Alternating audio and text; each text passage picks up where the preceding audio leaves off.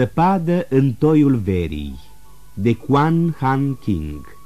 Adaptare radiofonică de Vlaicu Bârna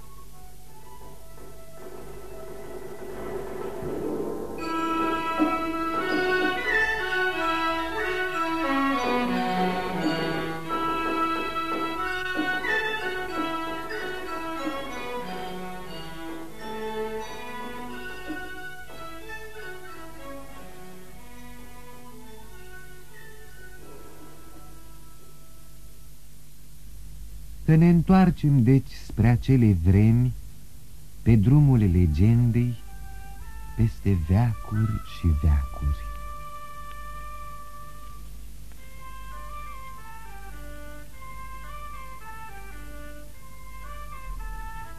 În vechea împărăție a Chinei, în localitatea Ciuciou, în mijlocul unei grădini cu mandarini împrejmuite cu gard de nuiele, E casa arătoasă a unui om înstărit. O alee pietruită duce spre poartă. În casă e un chioșc împodobit cu plante agățătoare. Înfățișarea casei și a chioșcului, aleea, pajiștea verde, straturile cu flori, crengile pe care au legat roadele mandarinilor, toate respiră ordine și tihnă. Aci locuiește doamna Tsai, văduva Tsai din Ciuciov.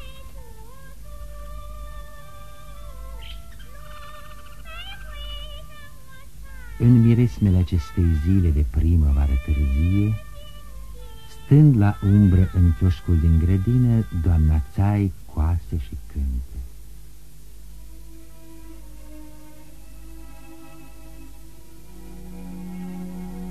Floare albă răurată, înflorești de atâtea ori în grădina miresmată, între ierburi, între flori. Numai omul până ce moare, tânăr e odată doar. Tinerețea, dulce floare, nu se întoarce, e în zadar. Lasă, ține-mă tristețea, uită vechile dureri, nu se întoarce tinerețea, floarea viselor de ieri. Cântecele sunt ca și visurile. Te iau cu ele și te fac să uiți. Iată, băiatul meu împlinește opt ani. Și când a murit taică să, parcă ar fi fost ieri, abia început să se umble în picioare.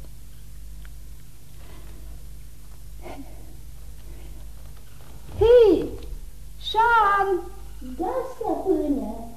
Unde ești? Viu îndată. Ai culcat băiatul? Da. Ce faci acolo, Șan?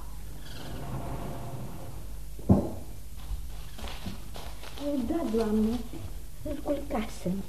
Dar când v-am auzit cântând, m-am oprit în umbra smorchinului de lângă casă și vă ascultam. E, de mult n-a mai cântat stăpâna mea. Dați-l încolo de gânduri, aveți tot ce vă trebuie. Soțul, odihnească-se în pace, v-a lăsat avere frumușică. Hm. Da, Șan, avere frumușică, dar și multe griji. Unde e avere, nu te lasă grijile să doară. Da, da. Am atâta bătaie de cap cu datornicii, tu știi e... foarte bine. așa oamenii împrumută ușor, dar când e vorba să dea înapoi, numai că-i vezi scărpinându-se în ceafă. Și ba așa, ba pe dincolea, ei ce mai, vorba din bătrâni. Când îi dai, îi fată vaca, când îi ceri înapoi, îi moare vițelul. Ca domnul ăla de ieri. Vorbești de domnul tău Tenciang? Da, da, așa-l cheamă. E un om de treabă, Șan, și mie nu-mi pare rău că l-am împrumutat. E, da. Cu toate că a trecut un an de când i-am dat cu dobândă cei 20 vezi, de tale. Vezi. Acum dobândă și capete ar avea să-mi dea 40 de tale pe argint. Oh. Să-mi dea de unde? Împrumutul pe vreme lungă nu ține de cald la pungă. E drept, dar cu datornicul de ieri am altă socoteală. Da? Da. Domnul tău, Tienceang, e un învățăcel în vârstă și cam strâmtorat. Da, da. Văzând că nu-mi poate plăti datoria, m-am gândit la un lucru. Da, ce lucru? Fica lui, care împlinește șapte ani, e o fetiță dulce și drăgălașă. Mhm. Dar putea fi noră. Ah, Da? e- În felul ăsta așa duce-o în casă, iar totul de datorii. E, Fetița mi s-a părut a fi tare harnică și supusă. ai o inimă bună, stăpână. Domnul tău ale ziua de astăzi, fiind o zi care poartă noroc ca să o aducă pe micuța lui în casă la mine. Ah, Dar am uitat, trebuie să pregătesc chitanța. E vremea să vină. Mă duc să caut hârtie. Dacă sosesc în lipsa mea, rog să mă aștepte aici în chioșc. N-am să întârzi mult. Da, stăpână, n-aveți nicio grijă. Îi voi primi ca pe niște rubedenii dragi. Cu toate că rudenia asta e cumpărată cu bani. E, așa e lumea. Cine e acolo? Sunt eu, învățăcerul tău, Tincean, împreună cu copila mea, Huan Yu. Poftiți, poftiți, vă rog, poftiți, vă deschid îndată. Poftiți după mine, aici e chioș. Doamna Țai va veni numai decât. Haide, haide, micuța mea, haide. Stăpâna mea abia așteaptă să-și primească nora. Și o slugă bătrână ca mine se bucură de bucuria stăpânilor. Ședeți, ședeți, colea. Ia, ia, ia, așa. Aud vorbe înțelepte care mi-amintesc de Chang'an, patria strămoșilor mei. Acolo m-am născut, dar sărăcia și lipsa m-au făcut să mă străinez, să-mi duc zilele printre străini. Sărăcia și lipsa și eu sunt prigonit de sărăcie și lipsă. Cărți zece mii citit am până acum, din fir în păr le-am studiat pe toate, cu râvnă și pricepere destulă, dar tot sărac, precum mă vezi rămas am. Lui Suma Xiangyu din bătrâni asemeni, dar într-o zi, când va suna chemarea, în fața judecății de pe urmă, va lua sfârșit și pentru totdeauna această viață jalnică de slugă. Omul se înfață cu toate, se înfață și cu rău. Cu răul va să lupți, așa e sfatul pe care din străbuni îl dau părinții. De mic copil am fost deprins cu greul și studios învățăcel, grăbit am să fiu stăpân pe a clasicilor slovă. Dar vezi, norocul meu e cam pitic și până acum, deși sunt om matur, n-am izbutit examenul am trece. Iar când nenorocirea îți scalcă pragul, nu scapi ușor. Îi place să rămână. Soția mea căzut la pat bolnav. Se prăpădi curând, lăsându-mi fica Sărac. pe toaniu. Avea pe atunci micuța trei anișori abia. Să-i plângi de milă. Un bărbat singur și sărac, cu un orfan pe care trebuie să-l hrănești și să-l crești, n-a fost ușor pe semne. Ușor, o nu, fugind de nenoroc, venit am să mă mut aici la Ciuciov, unde am luat și casă cu chirie, împrumutându-mă la doamna Țai și banii neavând a întoarce, mă văd silit ca om cinstit ce sunt, copila dragă să-i o dau de nor. O, cerule, n-ai fost cu mine blând, pe fica mea eu n-o mărit, o vând. Da. De ce vorbiți așa, domnule tău? Fica dumneavoastră intră într-o casă de oameni cum se cade. Uite că vine stăpâna mea. Bine ați venit, domnule tău. Cu plecăciune, doamnă, plecăciune, doamnă. cu plecăciune, cu plecăciune. Așa cum am făgăduit, v-am adus-o pe fica mea, dar nu ca să vă fie noră. Ar însemna o cinste prea mare pentru noi, ci ca să vă slujească cu toate puterile ei ziua și noaptea. Eu trebuie să plec spre capitală. În curând încep examenele de primăvară și vreau să-mi încerc iar norocul. Cercați, Nădăjduiesc că veți avea grijă de fica mea și că purtările ei nu vor întina cinstea casei dumneavoastră. Îi voi da locul care îi se cuvine unei rude apropiate, domnule tău, ca și dumneavoastră de altfel. Mulțumesc. În ce privește socoteala noastră, cei 40 de taleri de argint ce mi datorați îi socotesc ca și primiți, domnule tău. Poftim, luați-vă înapoi chitanța. Iar în această pungă se află alți 10 taleri pe care vi dăruiesc pentru cheltuielile de călătorie. Sper că nu e prea puțin, domnule. Vă mulțumesc, doamne, vă mulțumesc. Cum în loc să-mi pretindeți ce vă datorez, mă cinstiți cu bani de drum. Doamne, poate odată și odată voi ajunge să vă răsplătesc pentru tot binele pe care mi l-ați făcut. Dar, doamne, mai am o rugăminte. Fica mea, doamne, încă un copil, un copil prostuț, știți, și v-aș ruga să aveți grijă de dânsa. E de la sine înțeles, domnule, tu nu e nevoie să ne mai spuneți. Îi voi purta de grijă ca și când ar fi fata mea. Puteți să plecați la drum cu inima ușoară, domnule tău. Mulțumesc, vă mulțumesc, doamne. Și pentru pacea sufletului meu, doamne, aș mai avea o rugăminte. Dacă copilul face vreo poznă pentru care îi se cuvine bătaie, certați-o doar. Iar dacă îi se cade a fi certată, pentru pacea sufletului meu, vă rog să-i o spuneți cu vorbă bună. Da, domnule tău. Iar tu, fetița tati, Da, da, da. draga mea Toan Yun, să știi că aici nu mai ești la tine acasă. Da, da, da. De nu ești ascultătoare și cu minte, ai să fii certată și bătută. Nu mai ești la tatăl tău care îți rabde toate nasurile, îți face toate chefurile. Da. Copilul, copilul meu, n-am încotro. Trebuie să te părăsesc. Poate voi scăpa odată și odată de o sânda sărăciei.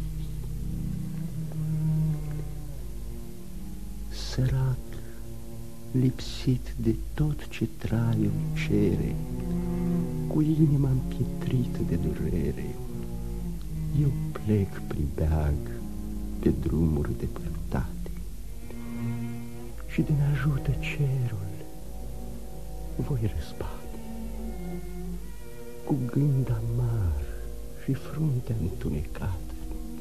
Nu știu de te voi mai vedea vreodată.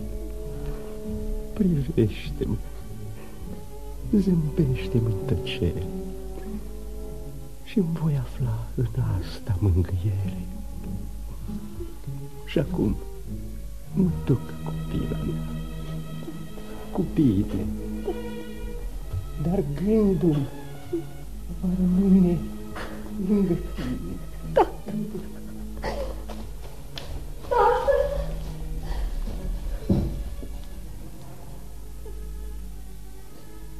Cum te-a răbdat inima să mă părăsești? Draga mea, Toaniu, draga mea, nu mai plânge, draga mea. Te voi iubi ca o mamă bună. Casa noastră va fi casa ta. Haide, haide, fetiță, vină cu mine să facem puțin o rânduială în casa noastră. Haide, așa, haide, să-l cunoști și pe fiul Da, da, Tu, Șan, rămâi aici și pasă mai departe. Da, stăpână, da.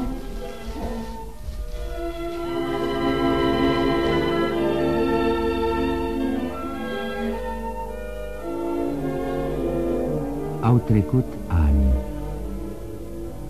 Copila Tuan Yun a crescut în casa doamnei Tsai. Stăpâna casei i-a schimbat numele în Tongo și la 15 ani a măritat-o cu fiul său. După doi ani de la căsătorie, fiul doamnei Tsai s-a îmbolnăvit de plămâni și a murit. Shan, bătrâna slujitoare, murise și ea de bătrânețe. Doamna Țai, cu inima îndurerată și tânăra ei noră îmbrăcată în doliu, au părăsit localitatea Ciuciov și s-au mutat în orașul Shanyang. Au trecut ani. În casa lor din Shanyang, cele două femei duc o viață liniștită, fără griji. În curând, tânăra noră Tongo își va scoate doliul. Se împlinesc trei ani de la moartea bărbatului. Dar inima tinerei Tongo a rămas întristată. Doamna Ța este ocupată și aici cu grijile averii. Socotelele cu datornicii, alergătura pe la casele lor, îi iau o bună parte din vreme. Unul din datornicii doamnei Ța este doctorul Lu din Shanyang, stăpânul unei spițerii situate la porțile de sud ale orașului. Să ne apropiem de spițeria doctorului Lu. O casă oarecare cu pereții coșcoviți, cu strașina plină de mușchi. Înapoi a tarabei, cu capul ras, cu țăcălie, în hainele lui de mătase neagră, doctorul se preumblă agitat. Atâtea griji, atâta plictiseală, să alergi, să afli buruieni tot felul, să stai să plămădești din ele leacuri și apoi să aștepți zadarnic la tarabă, să nu faci niciun dever ziua întreagă. Și unde pui, mă știe toată lumea, cu multă grijă cercetez bolnavii și pregătesc nenumărate leacuri, așa cum scrie în cartea lui Herbal. Pe morții, e drept, nu pot să-i mai înviu. Pe vii îi duc adesea la sicriu.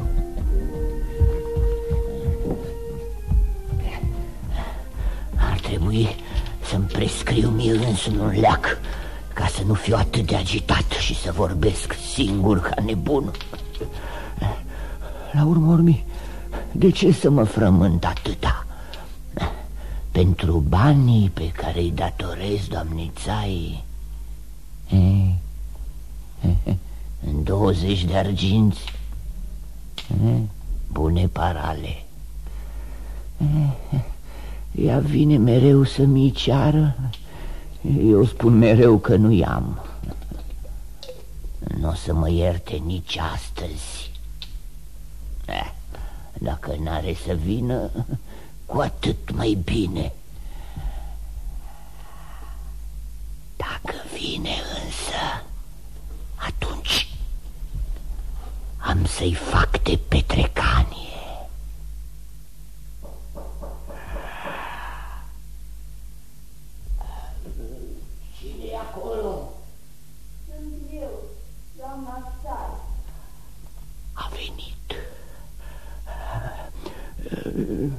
Da poftiți, poftiți, poftiți, doamnă, poftiți, frați. Am obosit. Spițeria dumitale e atât de departe. Da, da, luați loc, doamnă, luați loc. Mulțumesc, doctore. Mulțumesc, dar știți, sunt grăbită. Da. Aș vrea să mă întorc. Am uh, venit să-mi plătiți datoria. Mm. E multă vreme de când v-am împrumutat și am și eu nevoi. Da, da, da, da, desigur, desigur, doamnă, desigur, uh, se întâmplă însă că uh, n-am niciun ban la mine. Ei. Dacă doriți, veniți cu mine în târg și voi strânge banii ca să vă plătesc. Prea bine. Voi veni cu dumneata. Dar ce faci cu funia aceea, doctor? Am împrumutat-o de la o cunoștință din oraș. Eu duc în dărât. Da. Atunci să mergem, doamnă. Să mergem. Să mergem, doctore.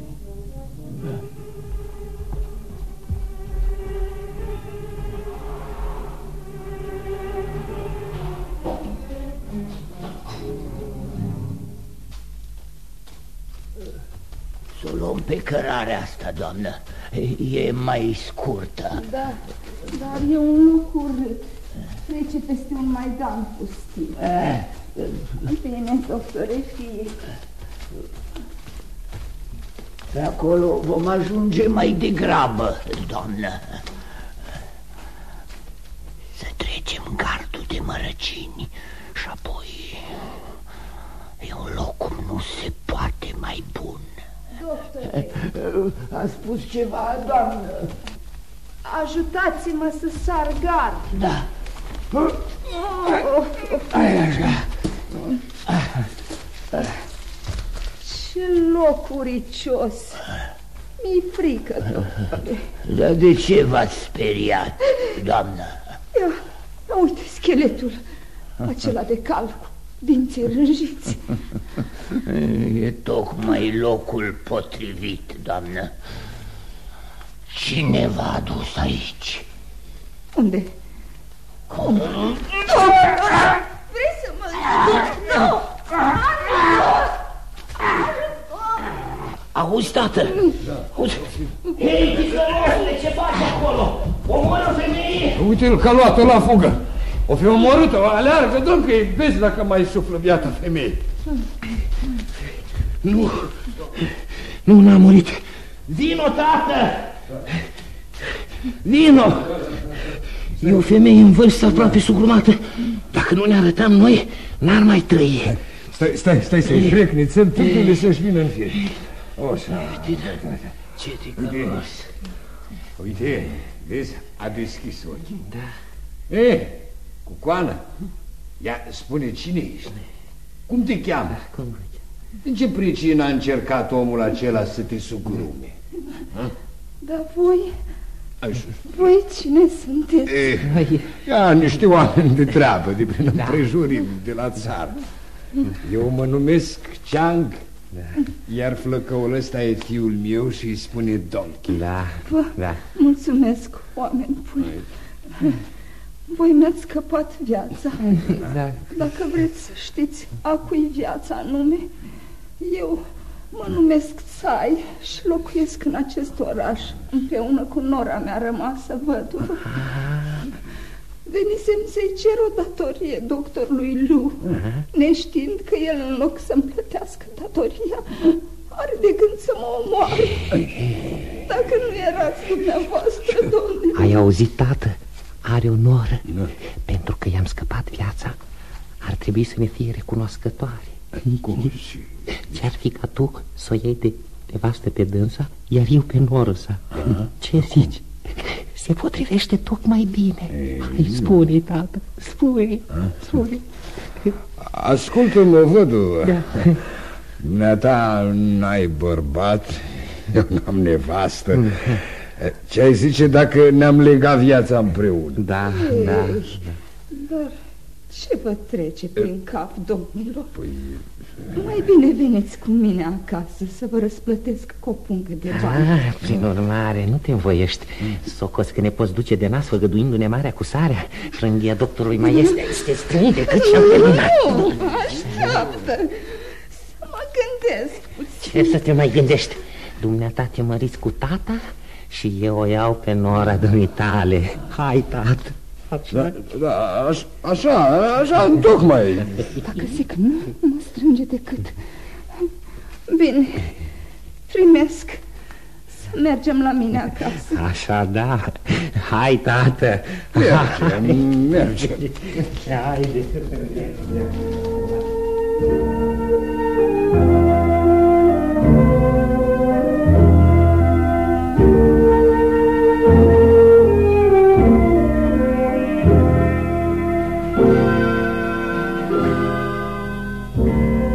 În vreme ce doamna Tsai străbate orașul urmate de Donkey și de tatăl său, la dânsa acasă, tânăra ei noră Tongo, isprăvindu-și treburile gospodărești, s-a oprit în dreptul ferestre și stă de vorbă cu o floare care și-a desfăcut corola spre lumină.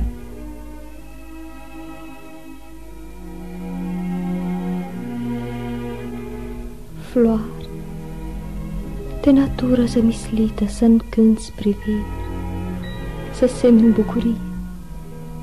Te știi cât de pustie mi viața și inima, câte dureri mă încearcă.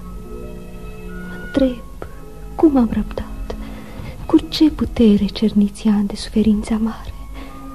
Chiar cerul, încărcat de atâta șale, se prăbușa zdrobit asupra lumii. Mai este în lume oare vreo făptură să îndure atâta mari de suferințe? Asemenea unor ape curgătoare, nu au sfârșit necazurile mele. Dar, Doamne, sunt acum îngrijorată. Ea e plecat în de dimineață să facă socotel cu un datornic și încă nu s-a întors. De ce întârzie? Să nu se întâmple ceva rău cu dânsa. O presimțire am. Dar iată, vine. Cu doi străini s-a oprit în poartă. Eu să-i așez bucatele pe masă. Oh. Te-ai întors? Îmi pare de bine, mamă. Da, copile, m-am întors. Sărmană copilă, cum să-ți spun oare? De ce vezi lacrimi, mamă? Ai iar necazuri cu datornicii? Cum pot să-i spun o veste așa de rușinoasă? Mamă, cine te-a necăjit? Și de ce plângi mereu? Să vezi, copila mea, ce mi s-a întâmplat. Când am cerut doctorului ludatoria, el m-a dus pe un maidan pustiu și a încercat să mă zgurume. Cum? Da, da, da, da. S-a întâmplat din norocul sau din nenorocul meu că un țăran bătrân, Ceang, și fiul său, Donchei, tocmai au trecut pe acolo. Mi-au salvat viața, dar acum bătrânul Ceang mă cere de nevastă. Mamă. asta e pricina pentru care sunt năcășit. Mamă, dar lucrul acesta nu trebuie făcut în niciun chip. Gândește-te bine. Sărăcia ne-a ocolit, avem ce mânca, iar datoriile nu ne scot din casă. Apoi, tu mi-a ești trecută de 60 de ani. Cum te mai putea gândi la măritiș? așa e copila mea, cum spui tu, ai dreptate, dar ei mi-au scăpat viața și pentru asta făgăduisem o răsplată bună. Dar nu știu de unde au aflat că am o noră și că amândouă suntem văduve. Cum nici ei nu sunt căsătoriți, ziceau că însuși cerul a hotărât să ne mărităm cu ei. Eu m-am împotrivit, dar ei m-au amenințat că mă zugrumă. Pierzând un capul, le-am făgăduit, dându-mi consimțământul și pentru tine, copila mea. N-am putut face alt. Ascultă-mă, mamă, nu îmi dai o jertfă adusă zeilor. Dar când părul ți-e alb ca zăpadă, cum ți-ar sta oare vălul de mireasă? Dumneata ești gata să ștergi amintirea întâiului bărbat și să te îndrăgostești de altul. Nu te gândești că o să te râdă vecinii? Oamenii ăștia mi-au scăpat viața și eu le-am dat cuvântul. Nu mai pot întoarce. E, puțin îmi pasă dacă o să râdă sau nu o să râdă vecinii de mine. Chiar viața dacă ți-au salvat-o, mamă. Tu nu mai ești ce ai fost odinioară. O mlădioasă trestie de bambus, să spui podoabă vălul de mireasă și să-ți apești sprâncenele cu negru. Bărbatul ți-a lăsat averea toată, pământ și bani, agoniseală bună. De griji, ferit să-ți fie viitorul, să ai de toate, hrană, îmbrăcăminte, să nu fii la cheremul nimănuia. Și atunci te întreb, mm. strădania aceasta, satarnică a fost și fără noi... Copila mea, copila mea, ei ne așteaptă să mergem la cununie. Mai pot eu să mă împotrivesc? Numai să nu regreți. E prea tristă că se ciocnești paharul de nuntă și prea muncită de gânduri ca să te bucuri de patul nupțial. E prea târziu. Încetează copila mea cu învinuirile. Ei așteaptă afară. Trebuie să-mi țin făgăduială. Dumneata, dacă poftești, mărită-te. Eu n-am să... Nu-i vorba dacă eu vreau sau nu vreau să mă mărit. S-au năpustit asupra mea și ce mai pot eu face? Auzi, auzi, și-au pierdut răbdarea. Hai, tată dragă, din casa lor și noi doar facem parte. Suntem înveșnite plinite, noi pălăriți și mâini elegante, plăcute la îmbrăcat, dar și frumoase, așa cum poate mirii. Hai cu mine!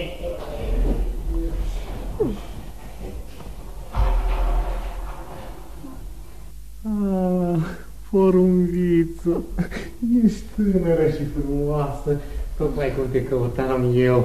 Bună ziua, frumoasă! De ce te uiți atât de aspru la noi? Flăgăilor, vedeți-vă de cale! Frumoasă! Femeile nu trebuie să creadă tot ce le spun bărbații. Versus scate. Dar teamă mică alta e voia mami. De ce în chip de mire mi-l aduce pe acest bătrân sperietoare hâdă și pe al său fiu ciudat la înfățișare ca o sânditul stos de vieții flacă? Ce? Nu arătăm noi ca lumea? Ia uitați-vă, suntem bine făcuți, arătoși, numai buni de însurătoare. Nu pierdeți prilejul și urmați-ne la cununie. Așa e să merg. E una nu, draga mea, draga mea, gândește. Mama, e rușinos să mă măriți împotriva voinței mele. Nu-i mai puțin rușinos să-ți dai agoniseala bărbatului dumitale pe mâinile acestui Don Chan. Auzi, fiule, ce zici?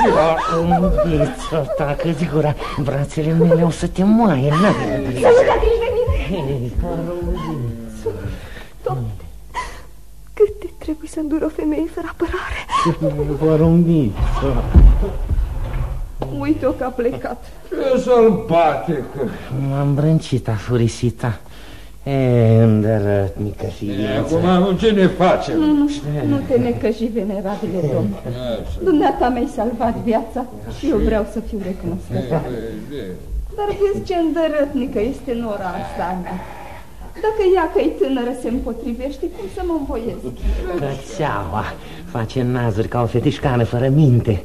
Abia m-am atins de ea și au apucat-o furile, îmbrâncindu-mă cât colo. Dar cu mine noi merge, no. Mă jur pe toți dracii că dacă nu izbutesc să o iau de nevastă, n-am să mai spun că sunt bărbat. Așa, fiule, așa. Da. Nu vă necăjiți, domnilor. Lăsați că unde plecăm noi până la urmă. Așezați-vă deocamdată la masă și îngăduiți-mi să vă cinstesc cu un prânz îmbelșugat, pe care îl vom uda cu vin. Trebuie să mai așteptați până o facem să-și schimbe hotărârea. Luați loc, colea, domnilor. Poftiți să închinăm în sănătatea dumneavoastră. În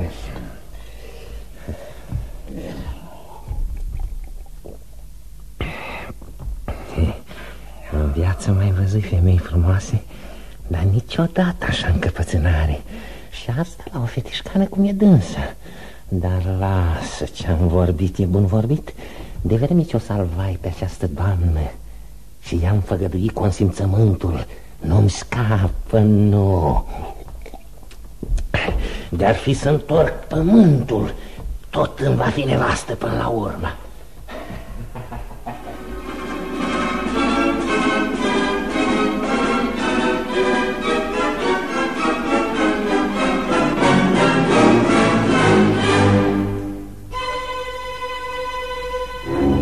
O săptămână mai târziu. Nici doamna Tsai, nici bătrânul Chang cu fiul său Donkey N-au izbutit să o înduplece pe Tongo să se mărite. Dar Donkey stăruitor În capul său a încolțit un plan. De aceea a luat drumul și zorește spre spițeria doctorului Lu De la porțile de sud ale orașului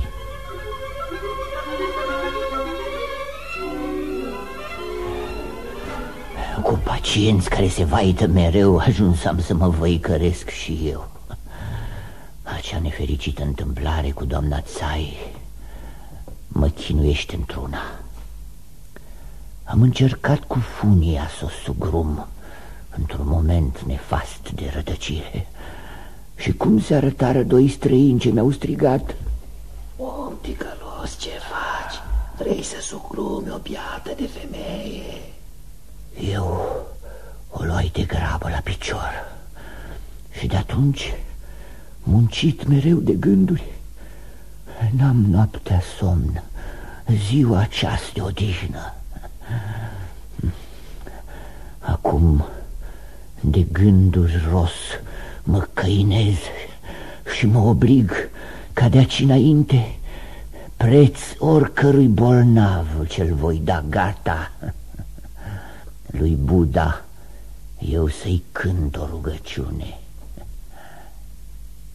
Da, ce mă fac cu doamna Tsai e vorba. cum pot să mai privesc în ochii ei? Norocul meu e că am rămas burlac și n-am griji familiare. De aceea îmi strâng aceste lucrușoare le așez frumos și îmi rânduiesc bocceaua și uite, spăl putina. De aici mi drumul. În alt oraș, la poarta altui târg, îmi voi deschide spițeria. Cine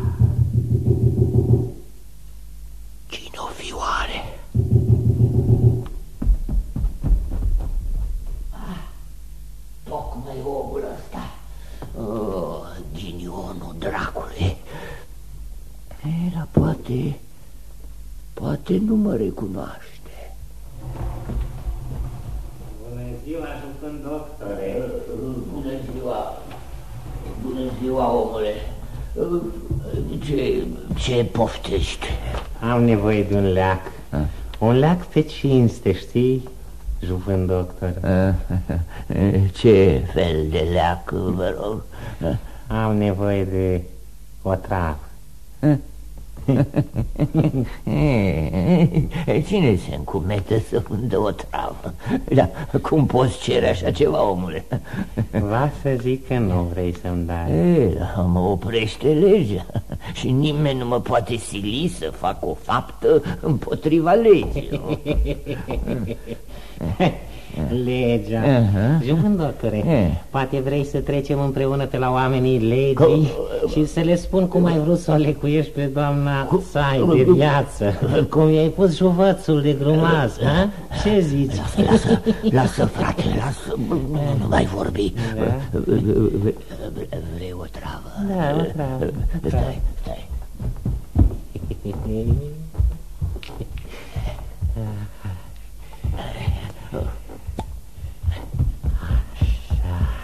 Poftim, poftim, poftim o travă. Așa, dacă mi-o dai, nu mai suflu nimic. Știi, jufând, doctore, Așa. o mână spală pe alta.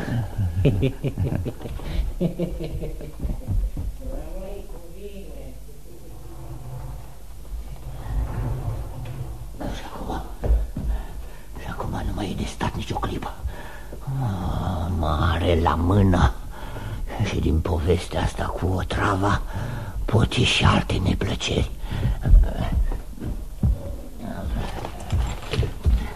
Am să, am să o iau spre Ciuciov. Mă mut acolo și voi trăi liniștit vânzând o travă de șoareci.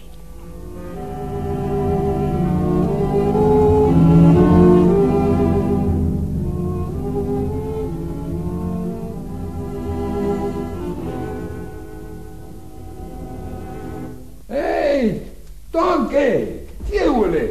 Da, da. Vino odată, omule. Hai, stau de un ceas aici în drum la câțiva pași de poarta doamniței, ca un milu. N-am vrut să intru fără tine. Așa. Ei, dar semnele nu prea sunt bune. Care semne, tată? Păi să vezi, auzia din aur pe niște vecini, spunând că văduva cea bătrână, doamna Țai, s-ar fi îmbolnăvit. Auzi, ghinion, tocmai ea care era învoită să se mărite și ne sfătuise să mai așteptăm până o înduplică și pe noi. Da, nu- nu-i nimic să, să mergem, poate are nevoie de sprijinul nostru. Un prilej mai potrivit nici nu se poate ca să-mi duc planul la îndeplinire. Bătrâna fiind bolnavă, nu o să se mire nimeni că va muri. Am să-i dau o travă chiar azi, când baba nu va mai fi, cea tânără de voie de nevoie va trebui să devii soția mea. Deci la lucru. Haide, tată, haide,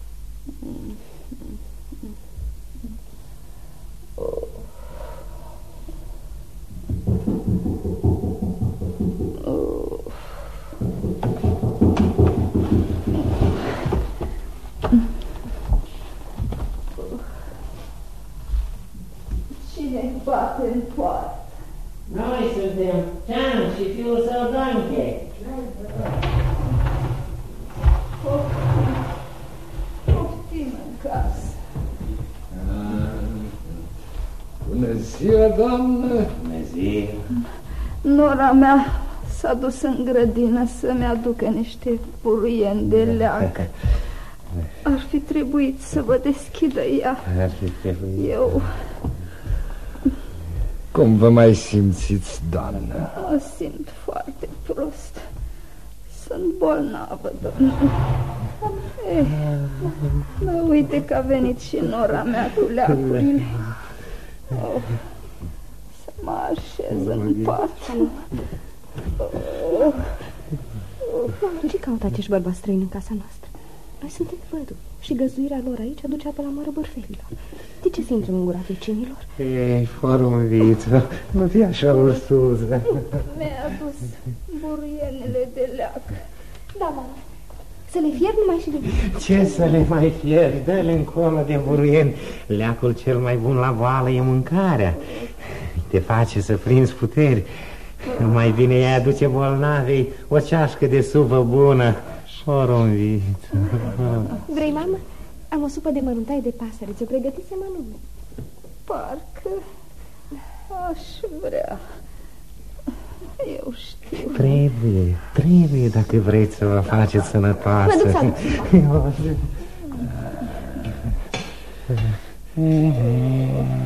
Zi, tată, zi. Spune. Așa. A, așa, noi veniserăm să mai vorbim despre treburile noastre. Da. Da, da, dacă dumneata ești bolnavă, vă mai aștepta să te sănătoșești. Am adus supa. E călduță și bună.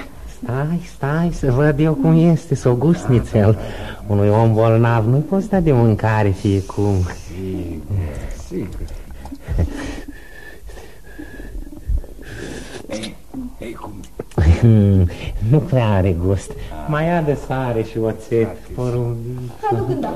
Hai să vedem noi aici așa bine Cum să scot repede sticluța cu o travă și...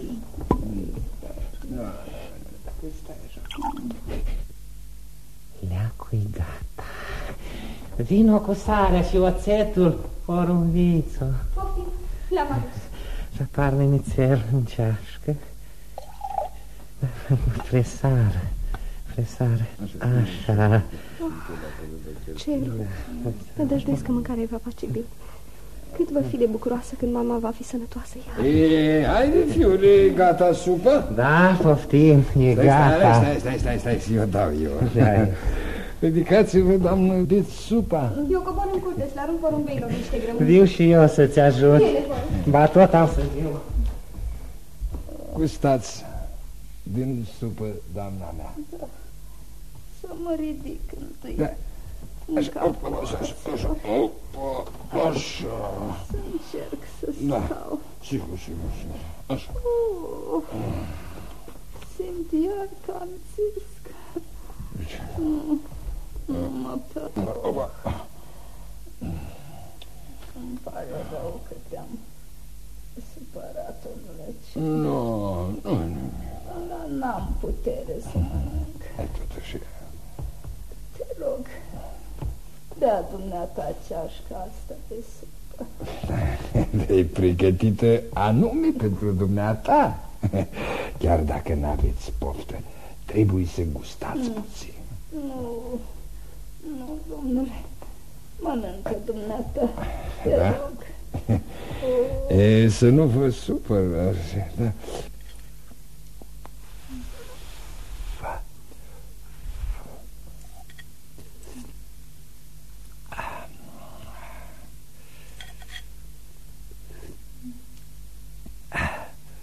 Bună. Da. E foarte bună. E... Da, Doamne, ce am eu? De ce oare? Simt o amețeală? Să nu fie o travă?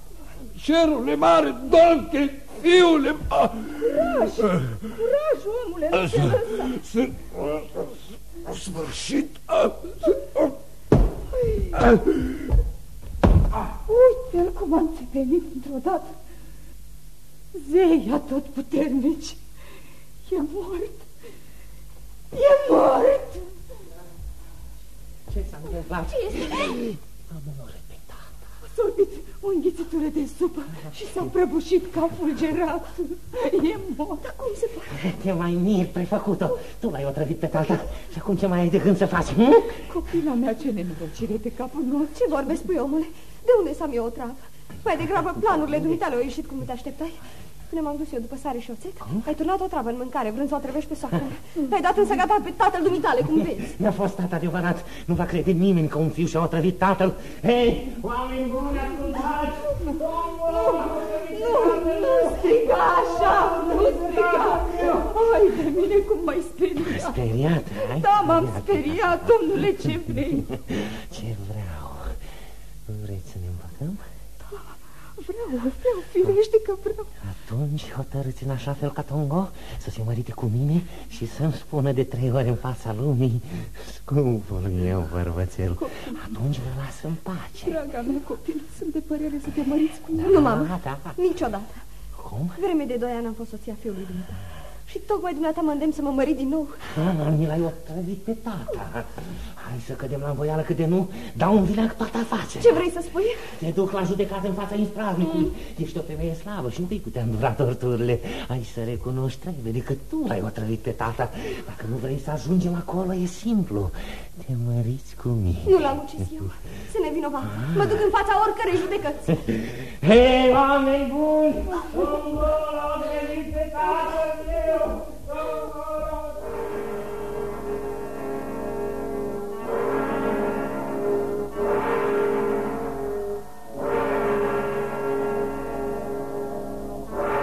Donkey le tărăște pe cele două femei în fața ispravnicului Tao din Shanyang, care judecă pricinile dintre oameni și împarte dreptatea.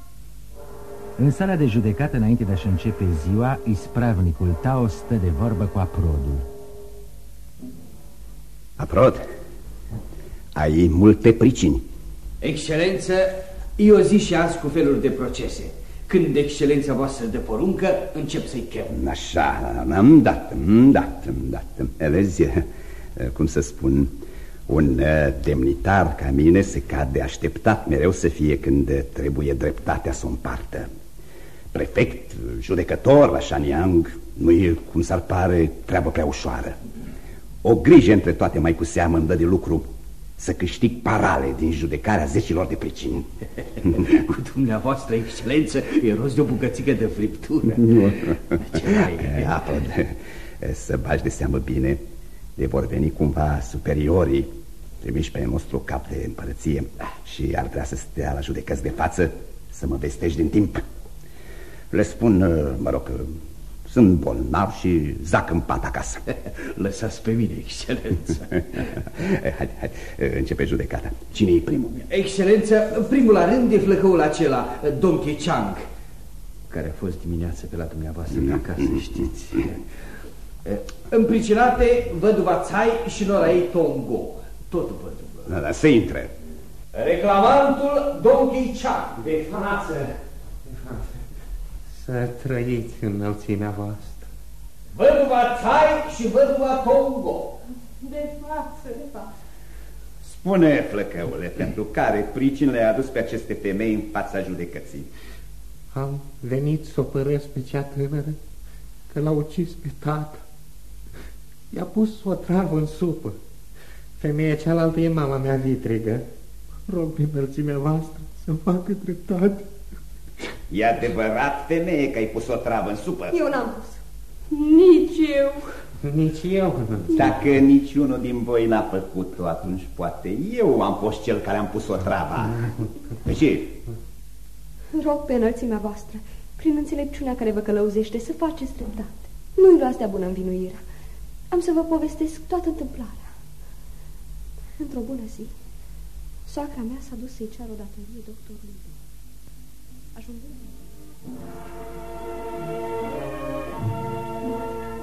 Așa stau lucrurile înălțimea voastră. Soacra mea nu este mama lui Vitregă, cum v-a spus. Pe el îl cheamă Cean chiar pe noi țară. Mm, Da, da, da, da. Să vedem, da.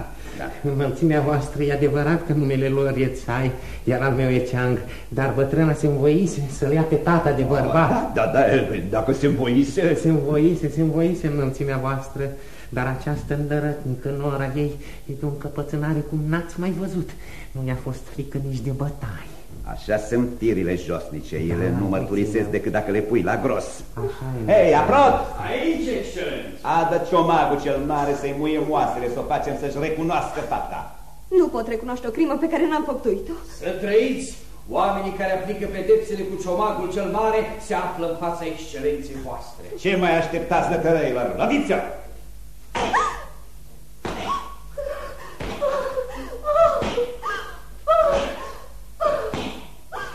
Lăsați-o! Lăsați-o! Regina!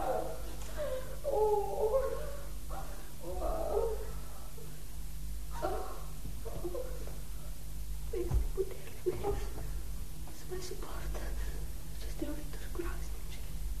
Nu, nu mai adus la o sândoasă. Hmm. Recunoști? Nu, nu am ce recunoaște. Sunt nevinovată. Ce chinuri cumplite.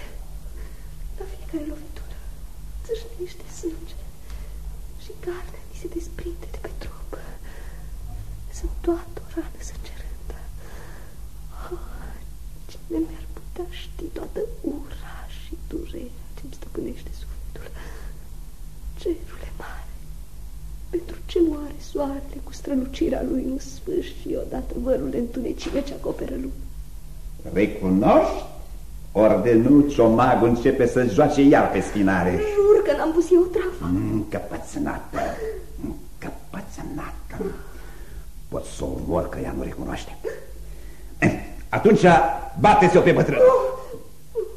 Nu, stați, stați, vă spun, să nu o bateți pe soacra mea. Dacă e așa, bine, iau asupra mea tot. Mai bine spun că eu l-am otrăvit pe bătrân. De vreme ce a recunoscut, să semneze declarația. Puneți-i apoi șbilsul de gât și să mi-o duceți la temnița osândiților la moarte. Mâine voi da sentința capitală și poi mâine în zor va fi executată în piața cea mare a orașului. Am înțeles, excelență. Ei, să fie scoase de aici. Am înțeles. Ești uh, mulțumit, flăcăule. Vă mulțumesc și mă înclin în fața înălțimii voastre. Hei, aprot! Aici, excelență. Doamna Țai și Don Căician să fie lăsați slobos. Am înțeles, excelență. Alții la rând. În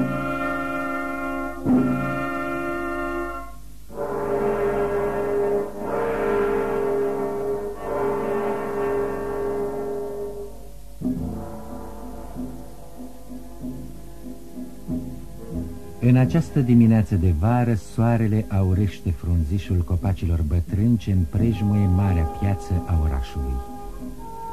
Razele fierbinți se oglindesc în stropii de rouă de pe frunze, iar coroanele verzi ale copacilor par țesute cu nestemate. Din toate părțile, mulțime de oameni se îndreaptă spre marea piață a orașului. Azi are loc executarea osânditei Tongo, pe care sentința nedreaptă a ispravnicului Tao a scos-o din rândul oamenilor. Iată-l în mijlocul pieții pe ofițerul însărcinat cu execuția.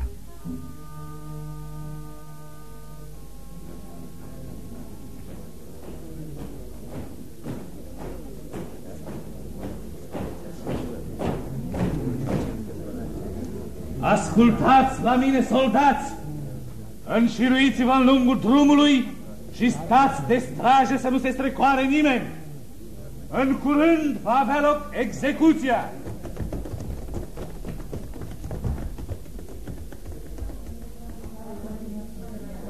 Așa. Ei, călăule, unde ești? La ordin, Unde se află o sândita? este aici cu șpilțul la gât, cu mâinile și picioarele fericate în lanț. Dați semnalele!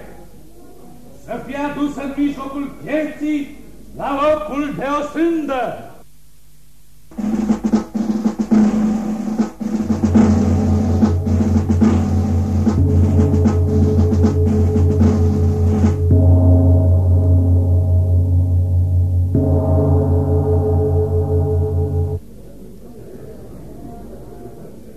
Ei, călău, ți-ai pregătit aloșul? Iagă capriciul! Hai, femeie, mișcă-te! Ia înainte. Nu se cade să-l facem pe domnul ofițer să aștepte. Hai!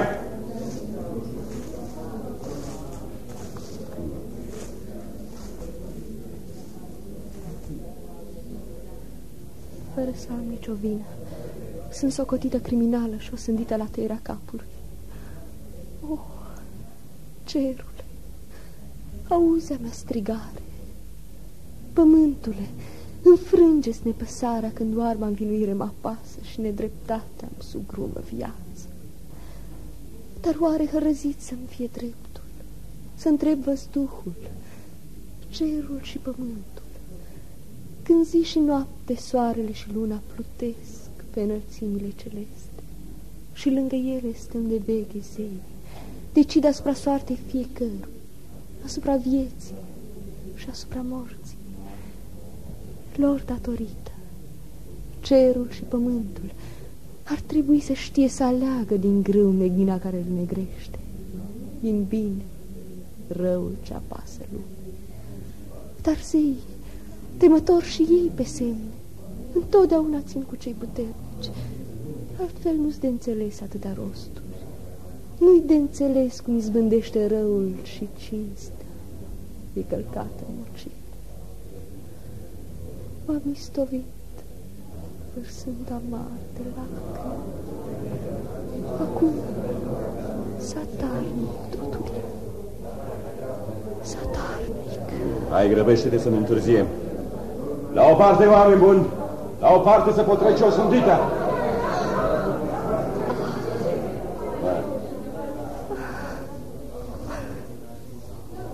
Unia asta care mă încleștează grumașii mă împiedică să merg pe drumul drept.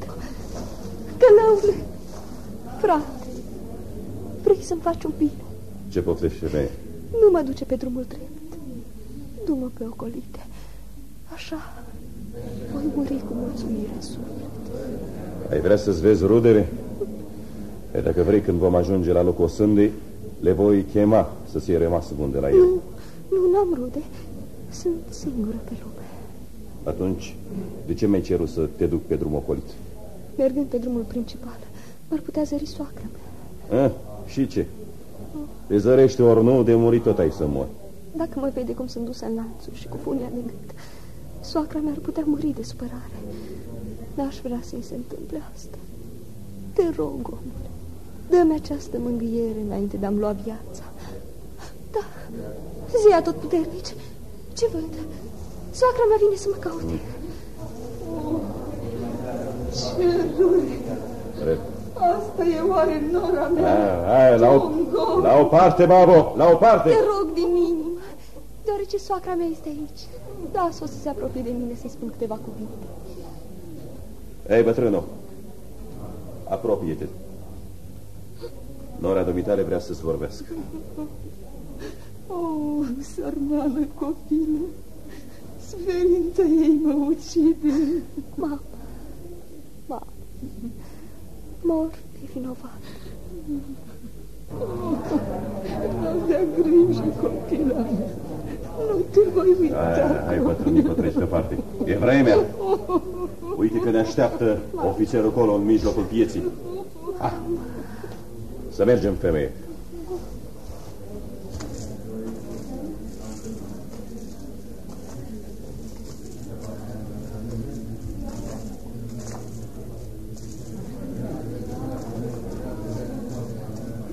Oprește! Jalat, scoate-i lanțurile și funia de la gât.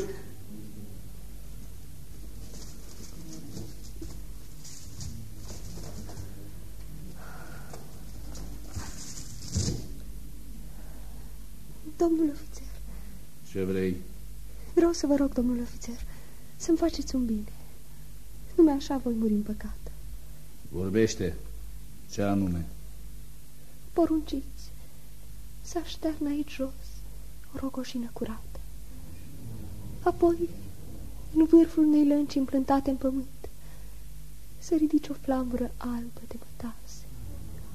Dacă mor pe nedrept, atunci, în clipa când paloșul călăului îmi va reteza capul, niciun strop din sângele meu nu va păta pământul, ci se va înălța spre flamura albă din vârful lăncii. Bine, să încuvințăm această dorință. Soldați, aduceți o rogojină, o lance și o flamură albă de mătase. Nu mi-e inima ușoară când mă gândesc la înspăimântătoarea nedreptate. Și mă întreb, dacă nu se va întâmpla minunea asta, cum vor putea oamenii să afle că cerul nu este nepărtinitor? Când sângele meu se va ridica spre flamura din vârful lăncii, toată omenirea va afla cum că Tongo a fost osândită pe nedrept.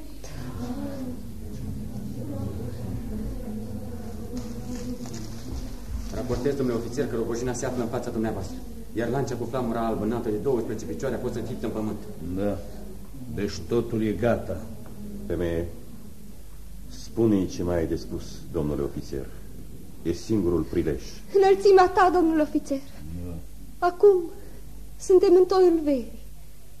Dacă se săvârșește cu adevărat o nedreptate, atunci fie ca un strat de zăpadă, gros de trei picioare, să-mi acopere trupul neînsuflețit.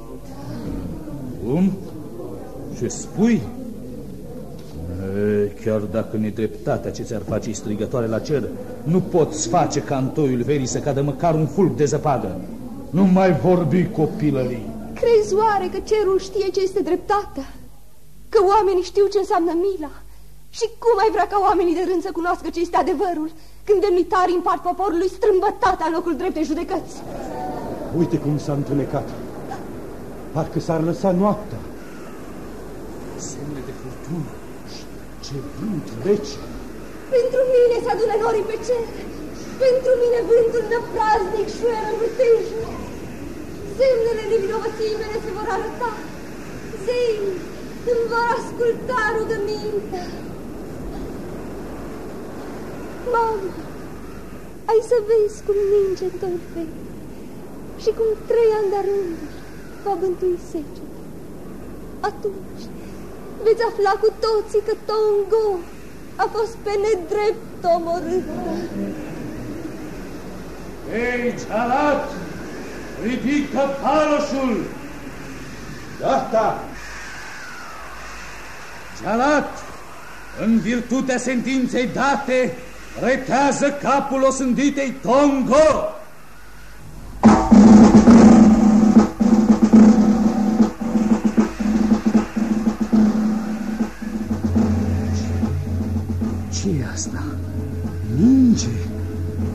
Curios lucru. Ninge! Ninge dolbei! Ninge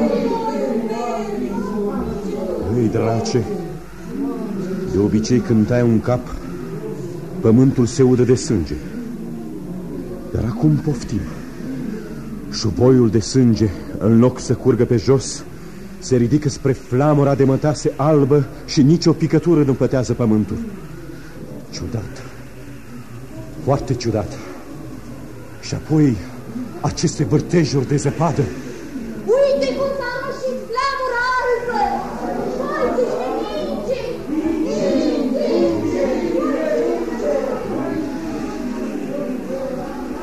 Se vede că a fost săvârșit o nedreptate. Două din poruncile osânditei s-au adeverit. Sunt curios să văd dacă se va adeveri și a treia cu anii de secetă. Ah, la urma urmei o să vedem.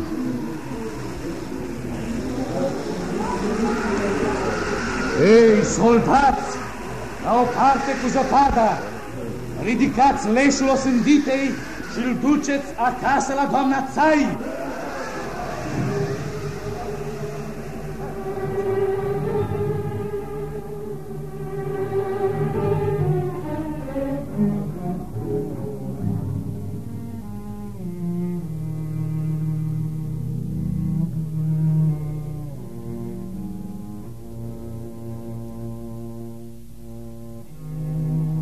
Au trecut mai bine de trei ani din vara când paloșul călăului din Shanyang a retezat capul lui Tongo. Trei ani la rând, regiunea a fost pârjolită de seceta amarnică. Dar iată că în orașul Shanyang a sosit un consilier imperial însărcinat de către împărat să cerceteze cum se aplică legile. Bărbatul acesta în puterea vârstei, cumpănit în vorbe și gesturi, purtând o robă de înalt magistrat cu paloș și insigne de aur, nu e altul decât Tou Tien Chang, tatăl nefericitei Tongo. El a izbutit în decursul vremii să-și dea examenele și să ajungă mare demnitar în stat. Însă mintea lui e frământată de gânduri. De mulți ani el nu mai știe nimic despre fica sa. Iată-l acum în marea cancelarie a orașului înconjurat de secretari și slujitori. Pe masă, înaintea lui, se află dosarele pricinilor judecate în anii din urmă. În anticameră funcționarii ținutului așteaptă să fie primiți de înaltul consilier. El însă stă dus pe gânduri. Să ne apropiem să-l ascultăm ce spune. În liniște acestei săli stau singur și-mi deapăn iarăși gândurile amare. Coboară lin din slăvi aripa serii, Pădurile se trag în umbra nopții, Iar luna în mersul ei domol pe boltă Se ascunde după piscurile înalte. E vremea de odihnă, firea toată își află peste noapte alinare. De mine doar nu se lipește odihna. Muncit cum sunt de marile răspunderi, cu sufletul împovărat de zbucium. Și cum nu mi-ar fi sufletul zbuciumat când de atâta amară de timp nu mai știu nimic de fiica mea. Avea șapte ani când am încredințat-o doamnei Țai. După ce am ajuns funcționar al statului, am căutat-o la casa unde o lăsasem, dar mi s-a spus că doamna Țai părăsise orașul și se mutase nu se știe unde. Am plâns-o pe fica mea până mi s-a împăingenit vederea și am cărunțit. Cine este?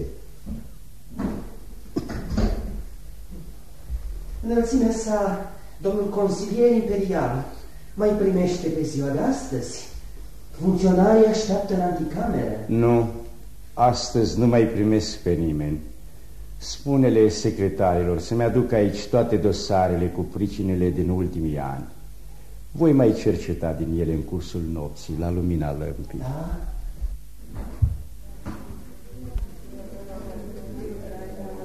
Înălțimea sa, domnul consilier imperial, nu mai primește astăzi. Veniți mâine dimineață! Poftiți dosarele pricinilor pentru pământ. Acestea sunt dosarele cu procesele criminale. S-a și lăsat întunericul. V-am adus lampa, înălțimea voastră. Vă mulțumesc, vă mulțumesc, prieteni. Și acum duceți-vă de vă odihniți, ați robotit destul. Dar să veniți dacă vă voi striga. Da, noapte bună. Vă stăm la dispoziție, noapte bună, noapte bună, noapte bună, prieteni, noapte bună.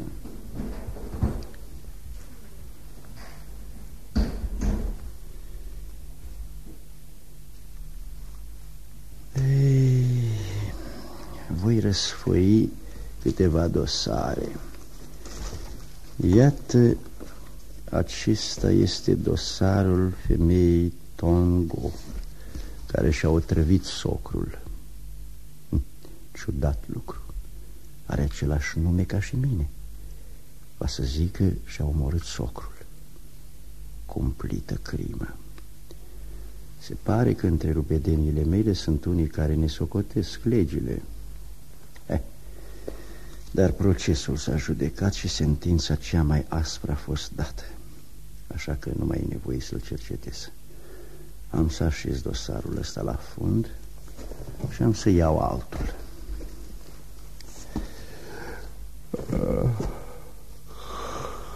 E, uite că mi s-a făcut somn așa din senin. E, ce vrei? Oboseala drumului și apoi bătrânețea. Să încerc să trag un somn chiar aici, cu capul sprijinit de masă.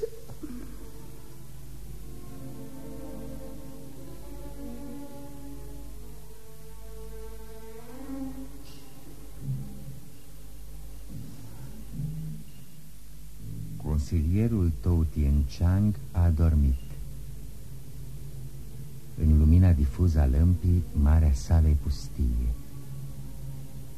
Dar iată că din umbra unui ungher se desprinde o siluetă care înaintează și se apropie de masă.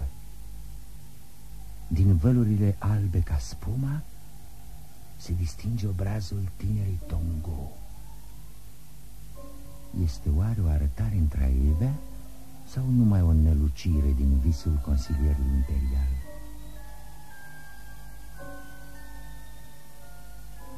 Prin lumea morților, umblând pribeag, eu zi de zi îmi plâng nestins așa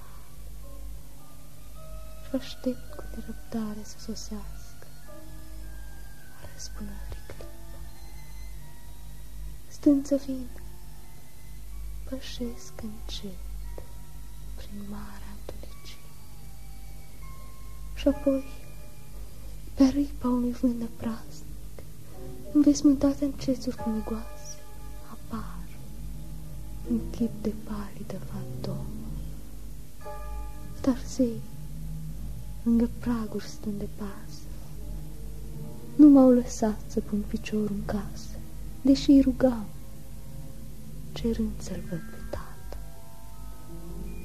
Doar mai târziu, spunându-mi ca doar, veni să mă întâlnesc cu el în vis și să-i destăinui mare nedreptate, o sânda cruntă ce-mi sfârșit viața. Sunt fica lui, copila oropsită, nu arătarea nopții, n-aveți teamă. Lăsați-mă de lampă să mă apropii. De ce să stau în umbra din unghiere? Oh, tată, ce folos că porți cu tine putere și însemnele puterii, când mântuirea mi-o poți aduce? Fantome cele care ți-a fost frică.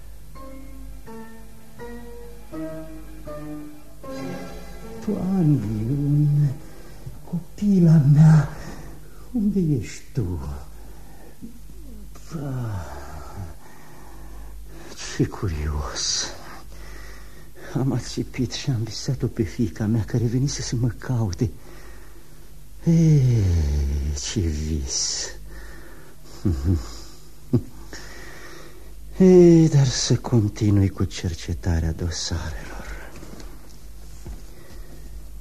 Ia te uită, de cum am început să citesc, flacăra lămpii a scăzut, mai mai să se stingă. A, servitorul a dormit, va trebui să îndrept singur fitilul. Așa, așa, acum lumina e mai bună și se poate citi iar. Iată dosarul criminalii Tongo. Dar cum se poate? Adineauri l-am pus la fund și acum îl văd deasupra. Dar să-l așez din nou la fund. E, dar ce? Lumina scade iar? Trebuie să mă scol și să îndrept iar fitilul. Da, da, da. Acum lumina s-a făcut iar bună. Dar ce-mi văd ochii? Deasupra dau iarăși de dosarul criminalei Tongo, pe care cu mâna mea l-am pus la fund acum câteva clipe. Nu cumva în casa asta bântuie fantomele. Oh, iată, Iată fantoma din unghierul cel mai întunecos îndreaptă spre mine o arătare înfășurată în giurgiuri albe. Ascultă-mă, duh rău sau vedenie, oprește-te! Sunt consilierul imperial însărcinat cu supravegherea justiției. Ce vrei de la mine? Oprește-te că de mai faci un singur pas despre punctul paușul. Ei, slujitori, sculați-vă, veniți îndată, de aici umblă fantome. Spaima l-a făcut să se piardă cu firea. Ascultă-mă, Tou Tianchan, domnule consilier imperial, sunt fica ta, Tongo, și vin la tine să mă închin ca în fața unui părinte. Tu spui, fantomă, că ești fica mea, dar pe fica mea mă cheamă Toan Și totuși sunt fica ta. După ce m-ai încredințat doamnei Tsai, dânsa mi-a schimbat numele în Tongo. Deci spui că ești fica mea. Răspunde, nu cumva ești femeia învinuită de și-a otrăvit soțul? Da, eu sunt. Atunci taci! Eu te-am plâns până ce mi s-a încetosat vederea și mi-a albit părul. Iar tu, cum te-ai putut să decazi într-atâta, să săbușești o crimă atât de îngrozitoare? Am ajuns în alt demnitar și tu ești copilul meu. Și mă întreb, dacă n-am izbutit să te îndrept pe tine pe drumul cel bun, cum pot pretinde să-i îndrept pe alții? Ne-ai acoperit de rușine neamul, ai pătat numele nostru curat. Spunem de îndată tot adevărul și nimic altceva decât adevărul. Nu te supăra, tată. Am să-ți spun adevărul. Nimic altceva decât adevărul. La trei ani am pierdut-o pe mamă. La șapte ani m-ai dus în casa doamnei țară. Când am avut 15 ani, m-am măritat. Dar curând mi-a murit bărbatul.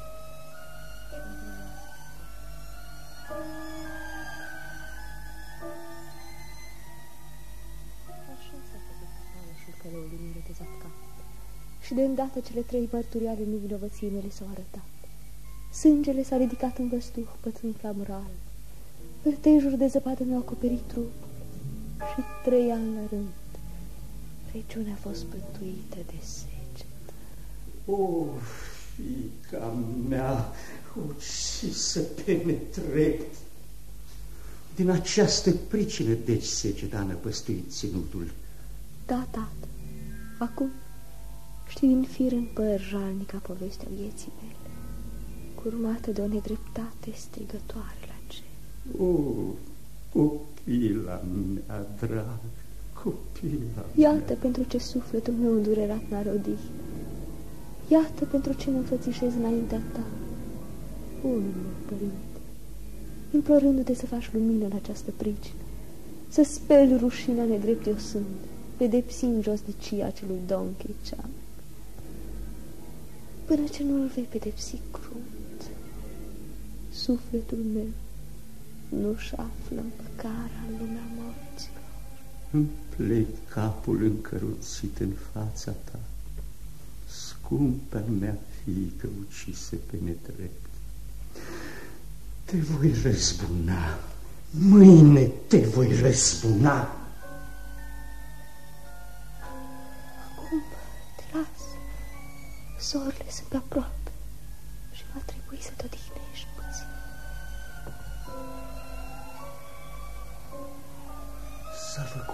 făcut nevăzută, topindu-se în lumina pălpuitoare a lămpii, așa cum se topește fumul în tăriile văzduhului.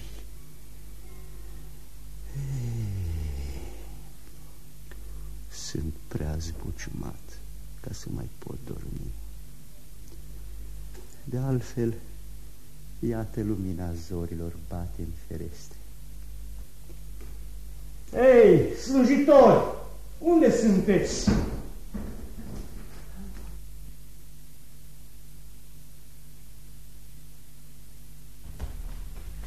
Da? Da? Porunciți înălțimea voastră? Ai adormit greu, prietene. Când te-am strigat astă noapte, n-ai auzit. Înălțimea voastră? Eu n-am închis ochii nicio clipă. Dar ce s-a întâmplat? În cursul nopții, în vreme ce studiam dosarele, și-a făcut apariția o fantomă, ca să-mi ceară să cercetez procesul. V-am strigat în mai multe rânduri, dar n-a venit nici unul din voi. Excelență, n-am văzut intrând nici o fantomă și nici nu v-am auzit chemându-l. Eh, destul! Strig acum că încep judecarea pricinilor. Da? Da?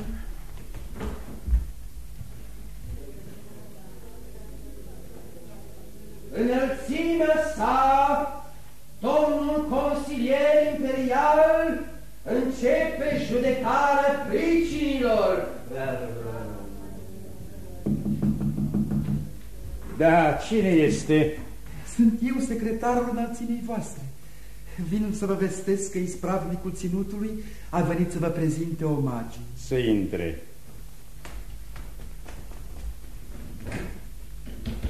Vă rugăm, excelență, să primiți închinarea simțămintelor noastre și vă spunem bun venit în mijlocul nostru. Puteți să-mi spuneți mai degrabă, domnule ispravnic, de ce ținutul acesta suferă de secetă de trei ani? Într-adevăr, timpul a fost grozav de secetos, o adevărată pacoste pentru localnici, da. Nu din vina noastră, excelență. Așadar, nu-ți recunoști vina. Nu știi nimic, de pildă, despre cazul unei femei din partea locului numită Toango, acuzată pe nedrept că și-a otrăvit socul.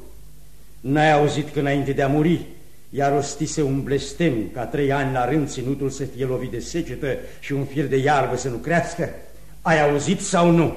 Excelență, nu eu am fost acela care a judecat această pricină, ci ispravnicul dinaintea mea. Între timp el a fost mutat în alt ținut și a primit o înaintare în grad. Aveți la îndemână și actele dosarului. Cum?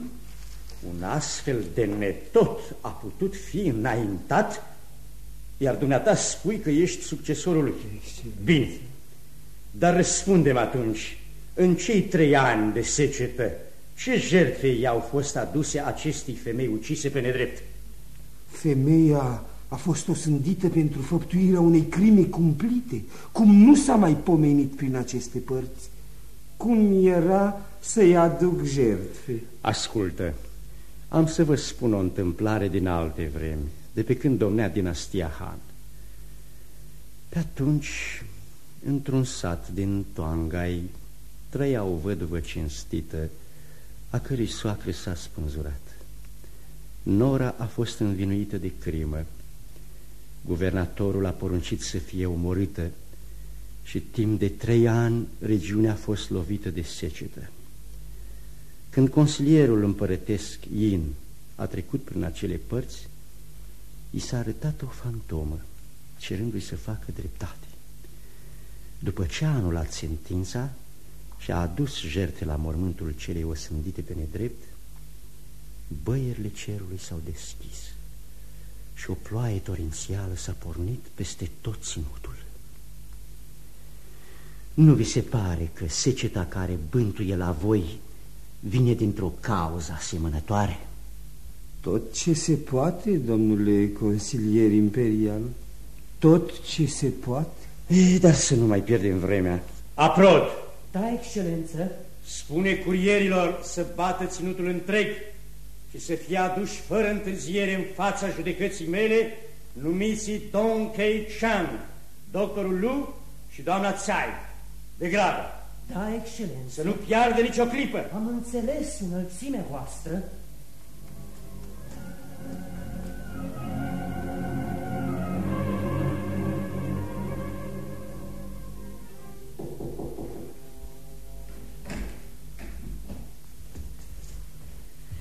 Au sosit curierii cu părății din Shanyang, înălțimea voastră. Să intre.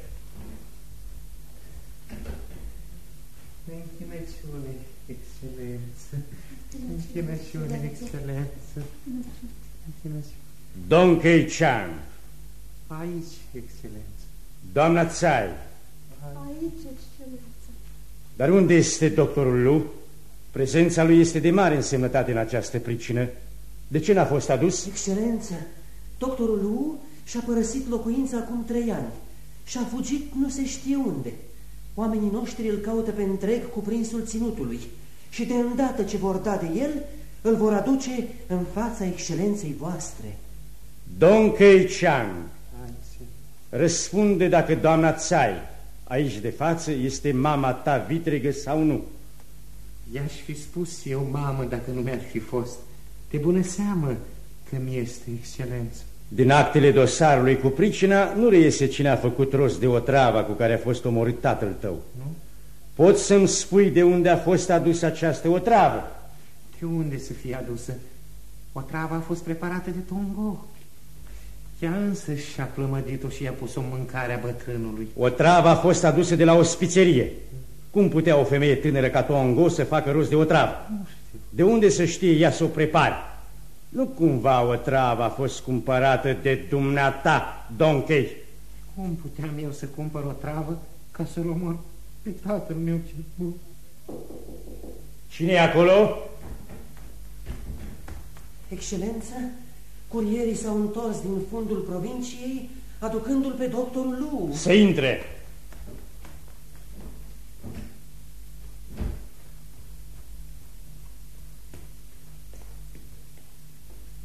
Le cu respect în fața înălțimii voastre. Mă, mă numesc Lu, doctorul Lu. Apropie-te.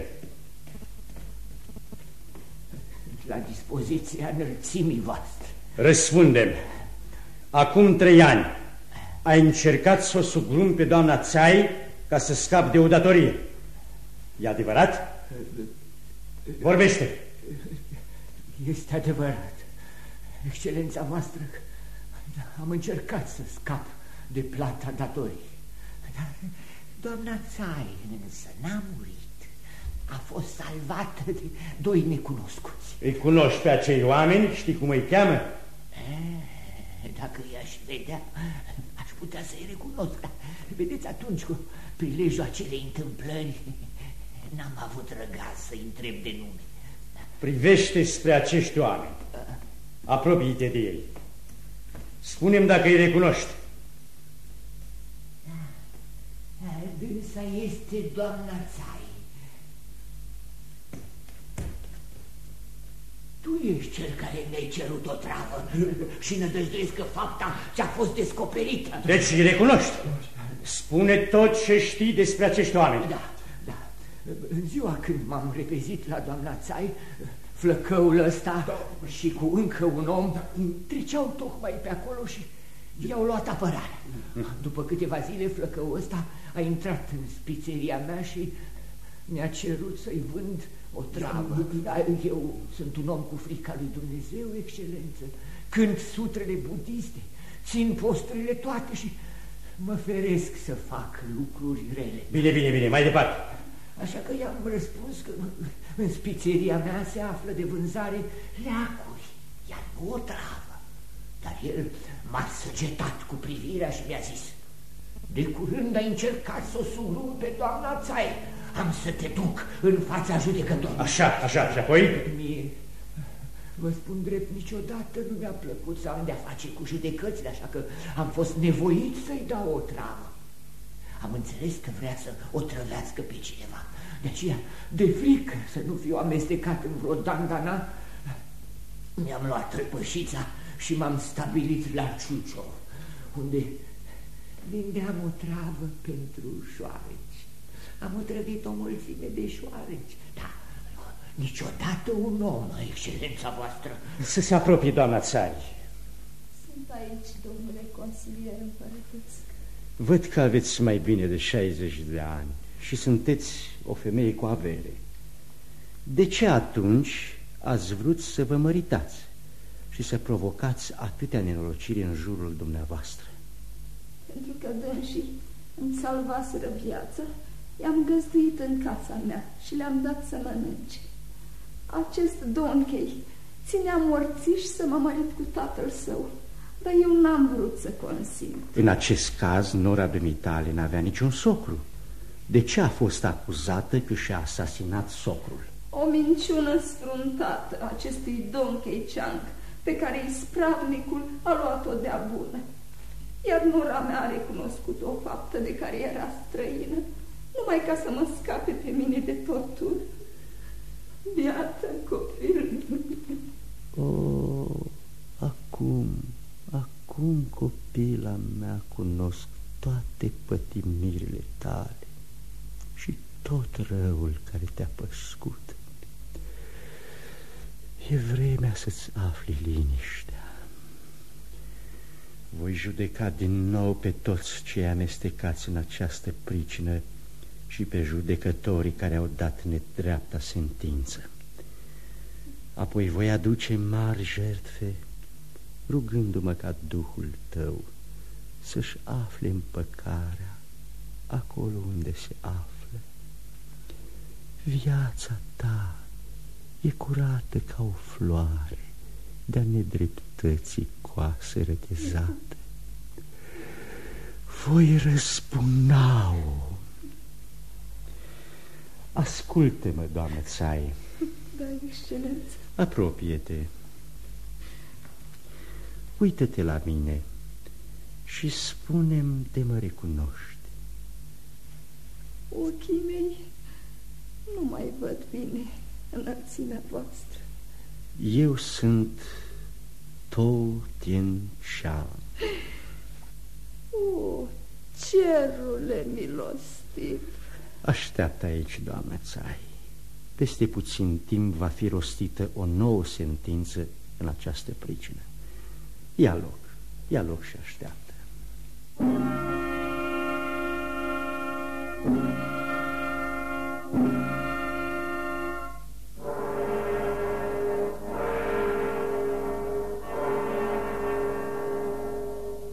Aprod! Da, excelență. Au fost adunați oamenii? Excelență, toți locuitorii din Shanyang, chemați de bătaia tobilor, se află afară. Deschideți ușile sălii de judecată. Da, excelență.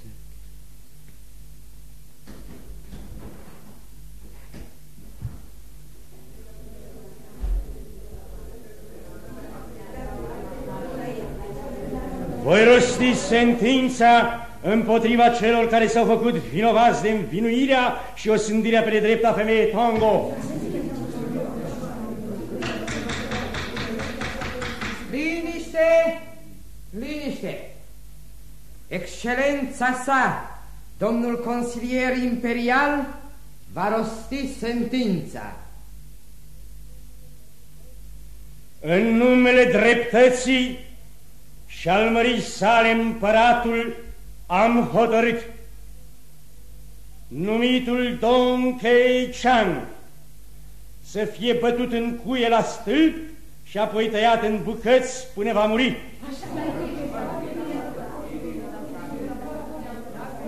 Ispravnicul Tao și secretarul său să fie duși în piața mare și în văzul lumii să primească o sută de lovituri de bice. Doctorul Lu este osândit să fie surghiunit până la moarte într-un ținut de la marginea țării.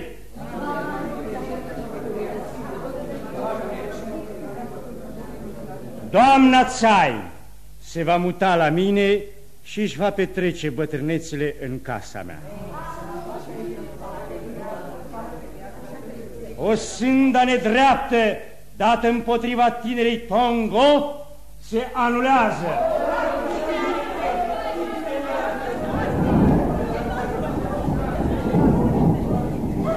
Din senin au năvălit nori negri de ploaie, cerul îndură-te! Picură, strop marca de pulberea drumurilor, peste pomii cu frunza arsă, peste ogoarele pârjolite de secetă, binecuvântată ploaie! Am gândit